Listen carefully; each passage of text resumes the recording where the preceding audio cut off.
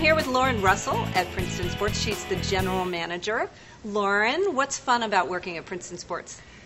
Everything. Um, when I come into work until I leave, I enjoy what I do. I work with great customers, I work with great employees, and it's a family owned business. How long have you been here? Six years. Six years? That's a long time. Yes, it is. And I look forward still to every day I come to work. So it's really nice to be able to say that. Now, what is your sport of choice? Mountain biking and then snowboarding. Um, we have some of the best mountain biking on the East Coast, and we're fortunate to have it 15 minutes from our back door. And you can go out there and just ride and be free. It's beautiful. And snowboarding, I've got into more of that when I started working here, and it's the same thing. A little harder to learn, but uh, So, would you say you're a nature girl? yes, I believe so. Where do you like to mountain bike?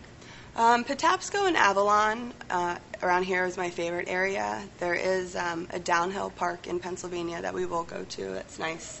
Um, and working at the store, they're very nice to us and give us discounts. So Awesome. Okay, and the last question is what would you buy with a Princeton Sports gift card?